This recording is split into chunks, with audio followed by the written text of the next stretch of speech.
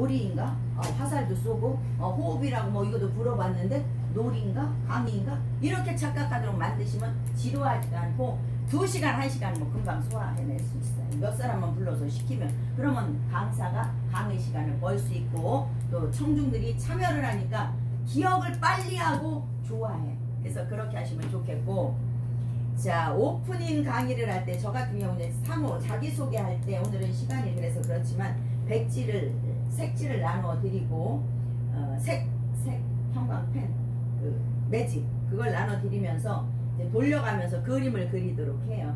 제일 먼저 내, 내가 갖고 있는 것에 내, 내 이름 세자 쓰고 내 얼굴 형태를 그려주십시오 하면 동그란지 길쭉한지 그리고 그리고 나면 다 그리셨으면 요걸 옆 사람한테 돌려주세요. 그래서 옆 사람이 이 사람을 보고 탐색하면서 눈을 그려주고 다음 사람한테 돌리면 이분이 또 이분을 탐색하면서 코를 그려주고 그러면 여러 사람의 합작품이 돼서 나의 이 소상화가 만들어지는데 그렇게 하면서 서로 탐색하고 대화하고 그리고 이제 이걸 들고 나와서 자기소개하는 게 굉장히 좋아요. 그래서 이런 방법으로 강의를 하면 강의가 수월하다 이렇게 말씀드릴 수 있겠습니다. 스토리는 생동감 있게 하고 마지막에 클로징을 어떻게 할 거냐면 오늘 저는 스피치 기법, 강의 기법에 대해서 말씀드렸습니다. 이 지금까지 한 말을 압축해서 강의를 잘하려면 압축하셔야 됩니다. 간단하게 해야 됩니다. 온몸으로 강의해야 됩니다. 그리고 사명감을 갖고 강의하셔야 된다는 말씀을 드리면서 오늘 강의를 마치겠습니다. 이거 closing을 멋지게 해줘요. 그래서 오프닝과 closing만 잘하면 그날 강의 잘했다 그래요. 그래서 한 시간 전에 이야기한 거 다 잊어버리고. 그때 다시 일깨워 주는 거예요. 핵심을 몇 가지를 끄집어내서 중요한 부분을 다시 되새김질 해주면서 마지막에 오늘 저의 강의를 모두 마치겠습니다. 라고 툭 떨어뜨리면 박수 안 나와요. 오늘 저는 스피치 기법에 대해서 강사의 자세에 대해서 이렇게 이렇게 해야 된다는 말씀을 드리면서 오늘 저의 강의를 모두 마치겠습니다. 라고 올려주면 박수가 저절로 나와요.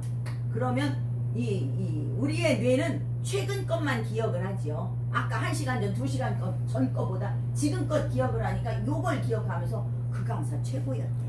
그래서 클로징을 그렇게 마무리를 잘 해주셔야 될 것 같습니다. 그리고 생각 정리를 잘 해야 돼요.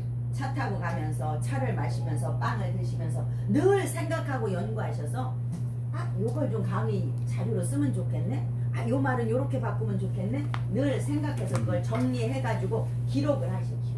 기록해갖고 자꾸 보면서 내 걸 만들어서 내 안에 이해해서 인지해서 담아가지고 강의를 하시면 되겠는데 정리하지 않고 인사말 축사 대회사 정리하지 않고 즉석에 나와서 횡설 수설 삼천포로 빠지다 가면 그거는 청중들의 귀를 혹사시키는 행위다라고 아주 유명한 분이 말씀을 하셨습니다. 그래서 생각을 좋은 강의는 생각을 정리해서 다듬고 그 다듬은 걸 압축해서 그 다음에 청자의 입장에서 생각하고 내가 하고 싶은 말이 아니라 그가 듣고 싶은 말을 하셔야 되겠다.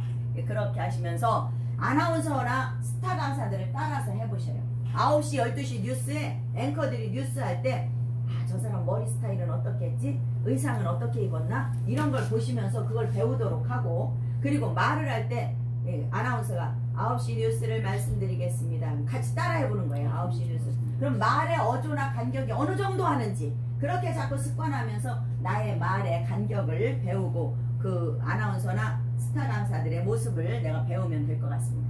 그리고 핵심을 꿰뚫어서 내가 하고자 하는 그 목적 또는 오늘의 강의 주제와 빗나가는 이야기를 하다 시간을 다 보내는 경우도 있는데 그렇게 하시면 안 되겠고 미사 여구를 너무 많이 거창하게 넣으려고 애쓰시지 마시고 생활 속에 있는 이야기 예화, 일화를 끄집어내서 이야기하시면 훨씬 음. 청중들이 이해하기가 쉽고 입력을 잘 합니다.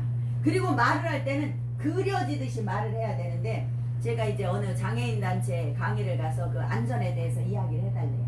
안전은 우리 생활에 모두가 다 안전사고에 노출되어 있습니다.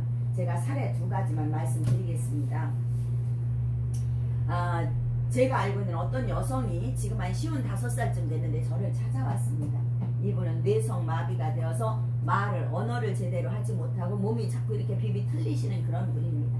근데 그분이 자기가 왜 이렇게 됐는지 이야기를 하는데 세살때 시골에 가면 여기 큰 가마솥이 있고 이 벽을 이렇게 뚫어서 쪽문을 냈었어요. 옛날 시골집은. 그래서 여기서 누른밥 주세요. 그러면 물 주세요. 여기서 물 이렇게 들여놓고 그랬던 집 구조가 있었는데 여기서 사골 국물을 끓이고 있는데 아기가 아장아장 걸어오다 그 문을 팍 밀면서 탁 떨어진 거예요. 그래서 이 솥에 빠져버려.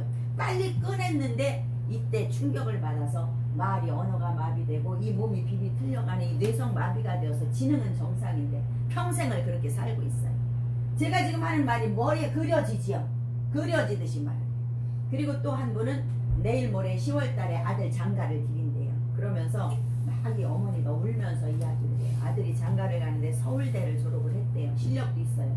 근데 아들이 한쪽 눈이 안 보인대요. 왜냐하면 자기 남편이 이제 굉장히 행복한 가정을 꾸리고 사는데 출근할 때도 아내를 와서 끌어안아주고 나 갔다 올게 퇴근하고 와서도 어 여보 나 다녀왔어 이게 습관이래요 근데 그날따라 이 에, 아내가 김치를 버무리고 있었네요. 그러니까 안아줄 사람이 없으니까 요 거실에 서서 이렇게 귀를 후비고 있던 고등학생 아들을 어 그래 아무개야. 걔를 끌어안은 거예요 그냥. 덥석. 덥석 끌어안는데 아버지가 아들보다 키가 크니까 끌어안으면서 이 귀를 후비고 있던 걸 그냥 확 찔러서 이 귀, 귀 하는 그게 이 안을 찔르면서 귀하고 눈하고 연결된 신경을 건드려서 수술을 했지만 실명을 해서 한쪽 눈이 안 보이는 거예요. 그래서 그 아버지는 평생을 두고 이 아들을 내가 이렇게 만들었다는 생각에 에, 마음에 후회를 하고 있는데 제가 지금 말씀드리는 게 그림이 그려지나요? 그 말을 할 때 그림이 그려 장갑을 끼고 김치를 버무리고 있었고 아이가 거기 서서 귀를 후비고 있었고 아버지가 아이보다 키가 크는데 끌어안다가 이걸 집 이렇게 했고 그림이 그려지듯이 말을 해야 청중들이 이해를 한다. 그래서 강의를 할 때도 그림이 그려지듯이 이렇게 하시고 차별 수업으로 이끌고 가는데 아까 이거 새총도 하고 뭐 호흡도 불어보고 하는 것처럼 참여를 자꾸 시키는 것 박수를 쳐보는 것 이렇게 하시면 되겠습니다. 자 그러다 보니까 이제 우리가 이게 시간이 지금 흘러가고 있고 세월도 가고 있죠. 나이도 드시고 있어요. 할 일이 너무 많아. 빨리 출, 출발해서 얼렁얼렁 하셔야 돼. 자 시간이 가볼까요? 시계가 이렇게 가나요? 시간이 흘러갑니다. 시작. 시간이 흘러갑니다. 세월도 흘러가나요? 세월. 세월도 흘러갑니다. 위로 올리기 불편하면 밑으로 갈까요? 세월도 흘러갑니다. 나이도 먹어가나요? 나이도 먹어갑니다. 박수 치면서 그래도 그래도 괜찮습니다. 처음부터 해볼게요. 시간이 시간이 흘러갑니다. 세월이 세월도 흘러갑니다. 나이도 나이도 먹어갑니다. 그래도 괜찮습니다. 왜 괜찮은지 옆 사람한테 물어보세요. 왜? 왜 왜? 괜찮으세요? 왜? 왜 괜찮은지 물어봤더니 이렇게 대답을 하네요. 이렇게 살고 있어. 시작. 이렇게 살고 있어요. 공부하나요? 공부하며 살고 있어요. 봉사하며 봉사하며 살고 있어요. 그래서 그래서 괜찮습니다. 그래서 괜찮다는데 옆에 분을 보면서 감동 한번 해줄까요? 아, 아, 아, 아, 아. 네, 감동을 해줘. 그렇게 살고 있어 괜찮대요. 시간이 가도 세월이 가도 나이를 먹어도 이렇게 모여서 학습하고 공부하고 뭔가 진취적으로 노력하면서 살고 있어서 괜찮대. 방송국에 가면 그 방청객 예, 토론회 같은 거 할 때 이렇게 10명, 20명 앉아 있을 때 그 모집해요. 오늘은 30대 여성, 40대 남성, 아니면 30대, 40대, 50대 두 명씩 뭐 이거를 요청을 해서 모집을 하는데 하루 일당 10만 원 주지요. 그러면 거기를 가면 교육을 시켜. 무슨 교육을 시키느냐면 이렇게 해요. 세 가지를 딱 시켜요. 자, 같이 합니다. 아하, 시작. 아하. 어, 음. 음. 아, 요 세 가지 시켜. 그래서 이 얘기할 때 감동적이게 나오면 아하. 음, 가만히 그 토론할 때 보세요. 그렇게 나오죠. 네. 그걸 교육을 시키고 와서 하는데 마찬가지로 옆 사람이 이렇게 살고 있어야 하면 감동을 해줘야죠. 아하. 음, 네. 한번 다시 한번 할까요? 시간이 시작. 시간이 흘러갑니다. 세월도 세월도 흘러갑니다. 나이도 먹어갑니다.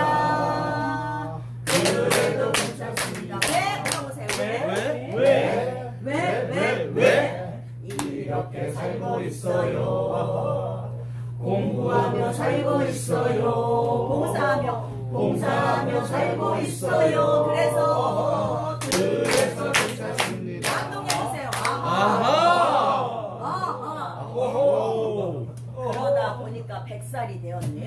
살이. 100살이 되었습니다. 근데 100살까지 아프지 않고 건강하게 살았어요. 건강하게. 건강하게 살. 후회 없이 살았어요. 그러면 되는 거 아닌가요? 네. 100살이 시작. 백살이 되었습니다. 건강하게 화이팅. 건강하게 살았습니다. 후회 없이 후회 없이 살았습니다. 그래서 감사하죠. 그래서 감사합니다. 그렇게 감사하도록 100살까지 후회 없도록 우리가 살기 위해서 오늘도 이 자리에서 함께 이렇게 공부하고 학습하고 있습니다. 중간중간에 조금 지루한 듯 싶으면 이렇게 하나씩 넣어가면서 양념 쳐가면서 하시면 지루하지 않다는 말씀 드립니다. 알겠어요? 그래서 복식호흡 중요하다고 말씀드렸고 호감 가는 이미지를 갖고 오셔야 된다. 무대 올라갔을 때 어 강사로서 호감 있어야 돼. 그리고 자연스러운 제스처 하셔야 되고 자신감 있는 발성 그리고 올바른 발음을 하면서 하시면 되겠습니다. 자 그렇게 이제 잘 하시고 복식 호흡은 아까 했으니까 그냥 넘어가고 아 요거 한번 해볼까요? 자 메아리 발성법 발성이 잘 되어야 이 목소리가 우렁차게 나오는데 자 메아리 아 흔들릴 때까지 시작 어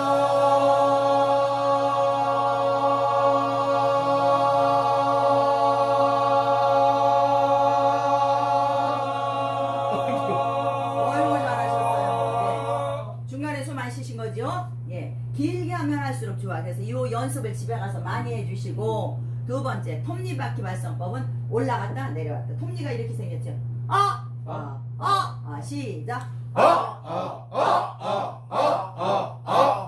어, 발성 연습도 집에 가서 연습을 많이 해주시기 바랍니다. 가장 중요한 게 스타카토 발성법인데 말을 발음을 정확하게 청중들에게 들리도록 하는 연습이 입을 좀 많이 입술을 많이 움직이는데 자, 아, 아, 아, 시작. 네, 다섯 번 할까요? 시작. 이 연습을 많이 하셔서 배가 불뚝불뚝 나오도록 짧게 짧게 짧게 악센트를 주면서 하시는 연습을 많이 할 때 발음이 정확하게 똑똑 떨어지면서 청중들에게 들릴 수 있겠다는 말씀드립니다. 메라비안 법칙에 봤더니 시각적 요소가 55점을 주고 들어가고 시각적 보여지는 그죠? 네. 어, 그리고 청각적 목소리가 38% 말의 내용은 정작 7%밖에 안 된다고 하니까 강사의 이미지가 얼마나 중요한지 헤어스타일을 어떻게 단정하게 해야 되는지 의상은 무엇 입고 가야 되는지. 그래서 의상은 가능한 2cm 이상 크게 입지 말라는 거예요. 그냥 집에서 입던 반바지 차림 티셔츠 차림으로 가지 말라는 겁니다. 뭔가 청중들하고 차별화된 대- 된 모습으로 연단에 섰을 때 강사의 이미지를 어, 쓸 수가 있겠습니다. 그래서 어, 스피치를 하면서 태도가 당당하면 화술이 당연히 빛나고요. 첫인상의 승부를 거는데 이 첫인상은 처음에 연단에 서서 어, 1분 이내, 30초 이내 결정하는. 난 첫인상 그런 거 아니야. 바꿔줘, 바꿔줘 한다고 바꿔지는 게 아니라 상대가 보고 느끼는 그대로 평가되어 버리기 때문에 첫인상을 밝게 청중들을 대하시고 눈빛 살리시고 복장 깔끔하게 머리는 단정할수록 호감이 갑니다. 자, 따라합니다. 목소리는 목소리는 소리나는 명함이요. 소리나는 명함이요. 외모는 외모는 보여지는 이력서다. 보여지는 이력서다. 내 목소리에 따라서 목소리가 소리나는 명함입니다. 어디서 무슨 일을 했는지 벌써 알아요. 내 외모를 보고 무슨 일을 하는지 이분들이 판단을 하니까 외모와 목소리가 그만큼 중요하다는 말씀을 드릴 수 있겠습니다. 때리고 영화 배우예요. 근데 이분은 76년생인데 태어나자부터 섬유종이라고 하는 병을 안고 태어나서 아래 무릎 아래로 다리에 뼈가 없이 썩어 들어가기 시작을 합니다. 너무 어려서 수술을 하지 못해서 돌이 지날 때쯤 돼서 이제 수술을 하면서 두 다리를 절단하기 시작을 합니다. 이 여성은 그때부터 넘어지고 일어나고 다시 넘어지고 일어나면서 자기의 삶을 개척해가기 시작하는데 자, 이 의족을 끼고 운동장을 몇 바퀴 뛰고 달리면서 육상 선수가 되기까지 얼마나 많은 날 노력을 했겠는가. 우리는 구두만 조금 새 구두를 신어도 뒤꿈치가 아프고 조금 신발 작은 걸 신어도 발이 아픈데 이 여성은 이런 의족을 띠고 끼고 뛰고 달리면서 육상 선수가 되어서 우리에게 많은 감동을 주고 있습니다. 이 여성이 뭐라고 이야기하냐면 이렇게 이야기하고 있습니다. 목표가 있다면 한계를 규정짓지 말래요. 내가 돈이 없어서 학벌이 없어서 힘이 없어서 능력이 없어서 어떤 것도 한계를 규정짓지 말라. 목표를 향해서 전진하고 나아가라고 이야기를 하고 있습니다. 그러면서 이 여성이 이렇게 이야기하네요. 나는 세상에서 너무 행복한 여성입니다. 다리가 없는데 행복하다니요? 저는 행복하지요. 2m짜리 농구 선수하고 인터뷰할 땐 내가 키를 2m로 늘려서 만듭니다. 긴 의족을 끼거든요. 7살짜리 아이하고 인터뷰할 땐 인- 의족을 빼고 가장 낮은 자세로 그 아이하고 키 높이를 맞추고 인터뷰를 합니다. 내 키를 자유자재로 높이고 내리고 내릴 수 있는 사람이 누가 있나요? 그래서 저는 행복합니다. 라고 행복한 이야기를 하는데 저는 그 이야기를 들으면서 제 다리를 만져봤습니다. 내 다리가 잘 있는지 튼튼한지 이 사람이 갖고 싶어하는 두 개의 다리 10배 100배의 건강한 다리를 나는 갖고 있으면서 때론 다리가 아프다 힘들다 주저앉고 싶다 했을 때도 많았어요. 지금부터 우리는 이 여성을 생각하면서 우리의 건강한 다리로 뛰고 달리고 이 세상을 시대를 세대를 세상을 넘어서 쓸모 있고 쓸데 있고 쓸 가치 있는 의 강의를 모두 마치도록 하겠습니다.